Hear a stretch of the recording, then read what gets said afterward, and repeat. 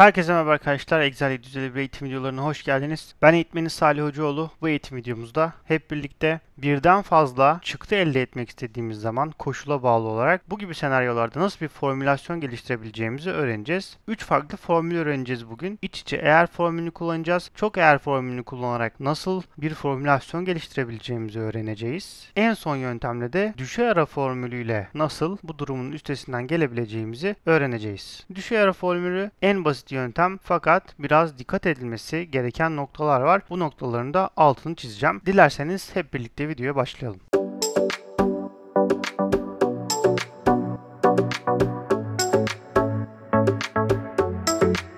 Arkadaşlar hızlıca örneğimize bakalım. Bu tablomda öğrencilerimizin isim ve soy isimleri var ve aldığı notlar var. Bu notlara göre ben sol tarafta hazırladığım tabloyu dikkate alarak öğrenci eğer 45'in altında aldıysa başarısız, 45-0 arası başarısız, 45-60 arası geçer, 70-60 arası orta, 90-70 arası iyi, 90 ve üstü de pek iyi şeklinde durumlar, çıktılar elde etmek isteyeceğim. Şimdi öncelikle iç içe eğeri anlamak için eğer formülünü biraz iyi anlamak gerekiyor. O yüzden kısaca eğer formülünden bahsedeceğim. Eşittir eğer fonksiyonunu çağırıyorum arkadaşlar. 3 tane argümanı var. Mantıksal sınama eğer doğruysa değer ve eğer yanlışsa değer şeklinde. Burada arkadaşlar elimizde eğer fonksiyonu ile beraber eğer fonksiyonu aslında bizim bir formülasyonla iki farklı çık edebileceğimiz bir formülasyon. Bize böyle bir imkan veriyor. Notu değerli arkadaşlar kontrol edeceğim. Notun büyük olup olmadığını kontrol edeceğim. Neyden? 45'ten. Eğer 45'ten büyükse hatta 45'e büyük eşitse büyük eşiti bu şekilde yapıyoruz arkadaşlar. O zaman ben öğrencime geçti şeklinde bir çıktı görmek istiyorum. Geçti yazmasını istiyorum. Değilse yani C2 hücresindeki değer yani not öğrencinin notu 45'e büyük eşit değilse nedir? O zaman 45'ten küçüktür. O zaman da kaldı şeklinde bir ibare çıktısı elde etmek istediğimi formüle söylüyorum. Eğer formül arkadaşlar aynı cümle gibi okuyabileceğimiz bir formül. Eğer C2 hücresindeki değer büyük eşittir 45'e ise o zaman geçti yazsın. Değilse o zaman da kaldı yazsın şeklinde aslında bir formül. Enter'a tıklıyorum. Aşağı kadar formülümü çekmek için doldurma tutamacının üzerine iki defa tıkladığım zaman arkadaşlar istediğim çıktıları elde etmiş oluyorum. 45'e eşit olanlar ve yukarısı geçti. 45'in altındakilerse kaldı yazmış oluyor. Şimdi arkadaşlar burada gördüğünüz gibi iki farklı çıktımız vardı. İki ihtimal vardı. Ya öğrenci geçecekti ya da kalacaktı. Bir tane notumuz var. İki ihtimal var. Fakat ben benim istediğim şey bu değil. Benim istediğim şey 5 farklı ihtimalim var burada. Başarısız geçer, orta iyi, pek iyi gibi notu değerlendirecek. Notu değerlendirdikten sonra ilgili skalaya oturan notu, oturan durumu daha doğrusu çıktı olarak karşıma getirmesini istiyorum. Arkadaşlar iç içe eğer formülünde şöyle bir mantık izliyoruz. Eğer formülünü iç içe kullanarak eğer formülünde 2 adet olan ihtimali daha fazlaya çıkartabiliyoruz. Buradaki mantık da şu şekilde. Bir tane notumuz var arkadaşlar ve bir tane mantıksal sınamamız var. Not 90'dan büyük mü? Önce bunu kontrol ediyoruz. Eğer 90'dan büyükse, evetse yani sonuç o zaman pek iyi şeklinde bir sonuç döndürüyoruz. Eğer not 90'dan büyük değilse biz kontrolümüzü gerçekleştirdik. Not 90'dan büyük değil. Hayır. O zaman başka bir kontrol mekanizması veriyoruz formüle. Diyoruz ki o zaman git kontrol et notu 70'ten büyük mü bu sefer? Bu sefer karşına başka bir kontrol çıkıyor. Bunu kontrol edeceğim diyor. 70'ten büyük mü? Evetse o zaman iyi şeklinde bir sonuç döndürüyoruz. Peki notum 70'ten büyük de değil. Hayır o zaman cevap olacak. Hayır cevabına geldiği zaman yolda ne var? Yolda bir karar mekanizması daha var. Bir kontrol mekanizması daha var. O zaman diyoruz ki git 60'tan büyük mü onu kontrol et. Eğer cevabım evetse orta şeklinde bir çıktı gelecek ve aslında döngüm veya mekanizmamı durduruyorum ben bu noktada. Eğer burada yukarıda da aynı şekilde cevaplarımız evet çıktığı zaman hiç başka sağ tarafı artık kontrol etmiyoruz. Kontrol etmeye gerek kalmıyor. 60'da kontrol etti. Diyelim ki hayır çıktı. Evet çıktıysa zaten mekanizma duruyor ve çıktığımızı elde ediyoruz orta çıktısını. Ama hayır çıktıysa bir bakıyor bir kontrol daha var karşısında. Bu sefer 45'ten büyük mü bunu kontrol et şeklinde bir kontrolümüz var. Evetse geçer. Hayırsa arkadaşlar artık bir çıktığımız daha var. O zaman diyoruz ki başarısız yaz. Burada bir kontrol daha yok. Böyle bir ihtimalleri arttırarak ya da şöyle söyleyeyim ikinci ihtimale bir kontrol daha koyarak eğer formülünü iç içe kullanıyoruz ve bu şekilde durumları yapabiliriz arkadaşlar. Hemen öğrenelim nasıl yapacağımızı. Eşittir. Eğer fonksiyonunu çağırıyorum. İlk eğerim bu. İsterseniz formül çubuğunu da biraz açalım. Burada biraz güzel bir formülasyon, uzun bir formülasyon geliştireceğiz. Eğer arkadaşlar notum büyüktür 90'dansa. Bu 90'ı tabii ki de F4'e tıklayarak sabitlememiz gerekecek. Buradaki tabloda kullandığımız her başvuruyu sabitleyeceğiz. Çünkü formülü daha sonra aşağıya indireceğiz. C2 büyüktür I6'daki değerden yani 36.90'dan büyükse o zaman diyorum peki şeklinde sonuç görmek istiyorum. F4'e tıklayarak sabitliyorum. Peki değilse ne yapayım? O zaman bir eğer bir eğer mekanizması daha ekliyorum. İsterseniz bunu Alt Enter'a tıklayarak formül çubuğundan devam ediyorum yazmaya. Aşağıya alabiliriz daha etkili formülasyon yazabilmek için. Peki Karşısına bir kontrol daha çıktı. Ne yapacağız? Yine notumuzu kontrol edeceğiz. C2'yi kontrol edeceğiz. Büyük mü bu sefer 70'ten? Bu sefer bunu kontrol edeceğiz. F4'e tıklayarak sabitliyorum. Eğer 70'ten büyükse o zaman çıktım ne olacak? İyi. Yine F4'e tıklayarak sabitliyorum. Noktalı virgül ikinci eğer formülümün üçüncü argümanındayım. Eğer yanlışsa değer. Diyelim ki notum 70'ten de büyük değil. O zaman ne yapacağız? Bir kontrol daha. O zaman alt enter'a tıklıyorum ve eğer fonksiyonunu bir kez daha yazacağım. Bir kontrol daha geliştireceğim çünkü. Nedir kontrolüm? Bu sefer notumun C2'nin büyük olup olmadığı 60'tan. 60'tan büyük mü küçük mü? F4'e tıklayarak yine sabitledim. Noktalı virgül koydum. Eğer 60'tan büyükse orta değerini görmek istiyorum. Orta çıktısını görebilirim. F4'e tıklayarak sabitliyorum. Değilse 60'tan da büyük değilse ne olacak? O zaman bir kontrol daha var. 45'ten büyük olabilir. Alt Enter'a tekrar tıklıyorum arkadaşlar. Eğer formülünü bir kez daha yazıyorum. Yine kontrol edeceğim şey ama her zaman aynı bakın. Notum C2'deki değer büyük müdür 45'ten? Eğer öyleyse geçer şeklinde bir çıktı görmek istiyorum. Değilse ne olsun? O zaman başarısız olsun.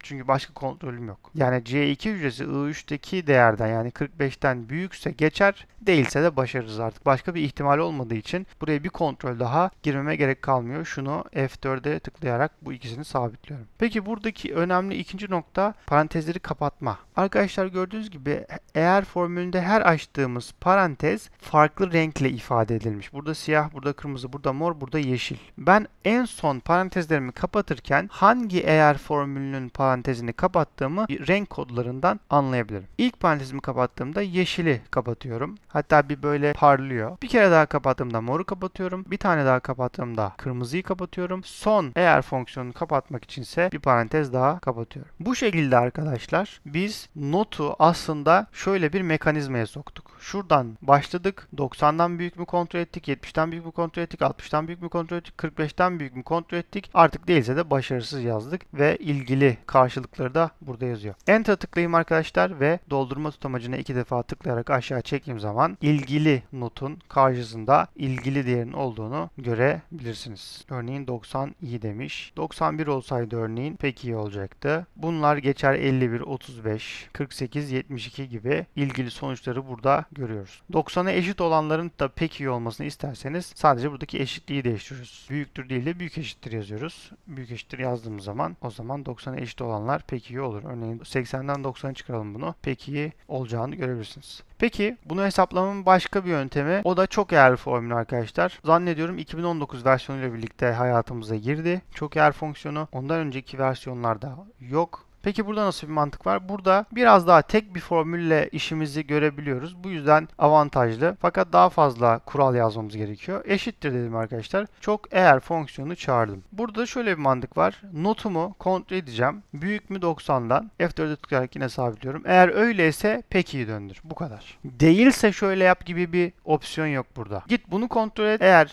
doğruysa, bu kontrol ettiğin şey doğruysa çıktı olarak bana bunu ver. Bu kadar. F4'e tıklayarak sabitledim arkadaşlar. Yine formül çubuğundan devam edip Alt Enter kullanıyorum ve bir aşağı iniyorum. Şimdi neyi kontrol edeceğim? Noktalı virgül koyacağız tabi buraya. Alt. Şimdi Alt Enter'a tıklayayım. Burada aşağıda arkadaşlar ikinci argümanın açıldığını görüyoruz. Mantıksal test 2 ve doğruysa değer 2. Bu ikisi kapalı parantez içerisinde opsiyonel ama girersek hem mantıksal testine hem de doğruysa değer argümanlarını birlikte girmemiz gerekiyor. İkinci ihtimalim ne? Notum büyüktür 70'ten. 70'ten büyükse o zaman iyi yaz diyorum. Noktalı koyuyorum. Alt enter tıklıyorum. Tekrar kontrol edeceğim şey C2. C2 büyük müdür bu sefer 60'tan? Eğer öyleyse orta yaz. Tekrardan noktalı virgül. C2 büyük müdür 45'ten? Eğer öyleyse geçer yaz. Tekrar noktalı virgül. C2 büyük müdür 0'dan? Eğer öyleyse başarısız yaz. Parantezi kapatalım arkadaşlar. Tek bir formülle bu işi halletmiş olduk. C2'lerden tutup bu şekilde alt enter yapıyorum. Az önce hata almıştım alt enter yaptığım zaman. Şöyle yapmış olayım. Ve hatta bunu da aşağı indirebiliriz bu arada. Hepsini bir kere daha aşağı indiriyoruz. Şunları arkadaşlar sabitleyeceğiz. F4'e tıklayarak şunları şöylecene ikili seçebiliriz. Sabitliyoruz arkadaşlar. Gördüğünüz gibi 5 ihtimal vardı. Her ihtimalinde hem kontrolünü hem de çıktısını girdim burada. Paketler halinde. Birinci ihtimal, ikinci ihtimal, üçüncü ihtimal, dördüncü ihtimal ve beşinci ihtimal şeklinde. Enter'a tıkladığım zaman arkadaşlar aşağı çektiğim zaman istediğim çıktığı burada da elde etmiş oluyoruz. Evet sol tarafta bir formülde bir tutarsızlık var. Burada geçer yazmış. Burada başarısız. Burada peki iyi. Burada bir sıkıntı var arkadaşlar. Hemen formülü kontrol edelim. Formülü kontrol ettiğimiz arkadaşlar I3'ü sabitlemediğimizi görüyoruz. I3 sabitlenmediği için aşağı inmemiş. Tıklayıp sabitliyorum F4'ü tıklayarak. Enter tıklıyorum ve aşağı kadar çekiyorum. Hepsi aynı olsun diye burada küçük büyük eşittir de sileceğim arkadaşlar. Tüm çıktılarımız aynı olmuş olsun. Ve aynı çıktıları elde edebildiğimiz arkadaşlar görebilirsiniz. Tercih sizin çok eğer formülünde tüm ihtimalleri yazmak gerekiyor. İç içe eğerde sadece 4 ihtimal yazmıştık. Burada 5 ihtimalde yazmak gerekiyor ama tek bir formülde halledebiliyoruz. İç içe eğer formülde eğer 365 versiyonunuz yoksa ya da 2019 versiyonu kullanmıyorsanız 2016 ve öncesi için kullanılabilir bir yöntem. Ve arkadaşlar şimdi geçelim düşey ara formülünde nasıl bu hesaplamayı yapabiliriz. Çok daha kolay bir şekilde düşey ara formülüyle aslında bunu halledebiliriz. Nasıl yapacağız arkadaşlar?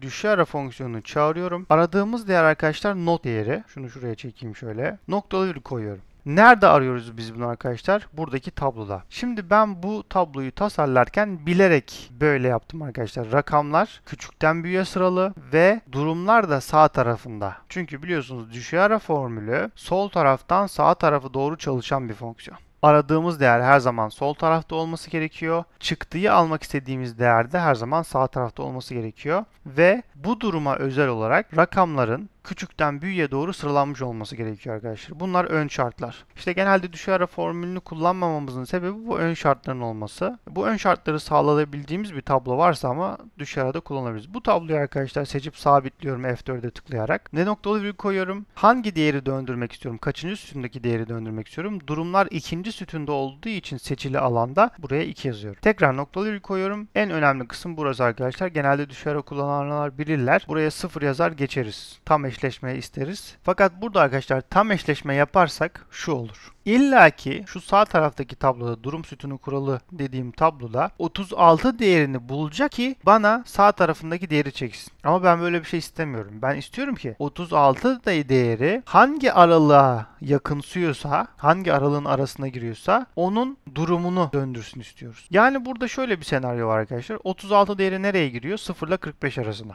0 ile 45 arasında hep aşağıya yuvarlar kendisini. Hep en minimum tarafa yuvarlar. 0 olacak. 0'ın karşısında ne var? Başarısız. Başka bir örnek yapalım. 53. 53'te nasıl olacak? 53 nerede? 45 ile 60 arasında. Hangisi daha küçük? 45 daha küçük. 45'in karşısında ne var? Geçer. O zaman 53'e geçer yazacak. Gibi arkadaşlar. 90. 90 zaten burada. 90'ı bulduğu için peki yazacak. 62. 62 nerede? 60 ile 70 arasında. Minimumu hangisi? 60. O zaman orta yazacak. 62 gibi. Ama işte biz buraya 0 değil de bu sefer 1 yazacağız arkadaşlar. Yaklaşık eşleşmenin mantığı işte bu. Yaklaşık eşleşiyor. Yani 0 ile 45 arasında yaklaşık olarak nereye denk geliyorsa minimuma bir altına yuvarlayıp karşısındaki durumu getirecek. Parantezi kapattım arkadaşlar. Enter'a tıkladım. Başarısız yazdığını gördünüz. Aşağı doğru çektim formülümü ve neredeyse tüm sonuçlar aynı. Niye neredeyse dedim? Çünkü 90'a eşit olanlar diğerlerinde iyi yazarken bunda pek iyi yazdı. Ya diğer kuralları değiştireceğiz. Eşittir 90 diyeceğiz. Ya da burada bir kurgu daha yapacağız. Burada 89-90 aralığına bir şey daha girmemiz lazım ki onu şey yapalım. Hepsi aynı olsun diye isterseniz eşittir diyelim arkadaşlar. Buradaki kurallara da eşittir, eşittir, büyük eşittir diyeceğiz hepsine.